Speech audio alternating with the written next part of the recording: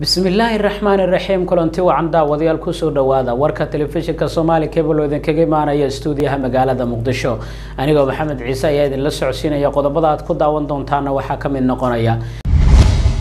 Madaxweynaha dowladda federaalk ee soomaaliya oo ka qayb galay shir ka dhacay magaalada adis ababa ayaa dib ugu soo laabtay magaalada muqdisho. Munaasabad xilalka ay ku kala wareegayeen guddoomiyihii gobolka banaadir iyo guddoomiyaha cusub ayaa ka dhacday magaalada caasimada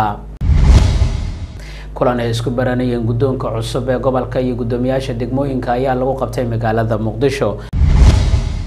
Dood looga hadlayay kabashada iyo ka jawaabidda abaaraha ku soo lalaabtay soomaaliya oo ay ka qayb galeen mas'uuliyiin dowladda ka tirsan ayaa lagu qabtay magaalada muqdisho.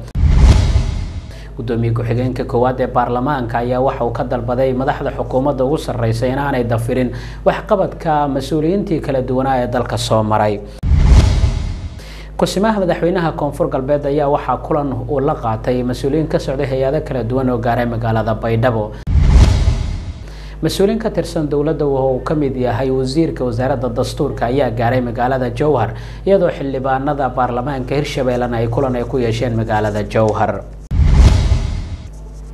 afhayeenka cusub ee madaxtooyada somalilan iyo la taliyaha madaxweynaha ee dhinaca arrimaha bulshada oo maalintii shalay xilkaasi loo magacaabay ayaa waxa uu ka warbixiyey sida uu arko xilkaasi uu magacaabay madaxweynaha somalilan wasiirka qorsheynta iyo sidoo kale wasiir ku-xigeenka wasaaraddaasi ayaa waxay kulan ay ku yeesheen magaalada hargeysa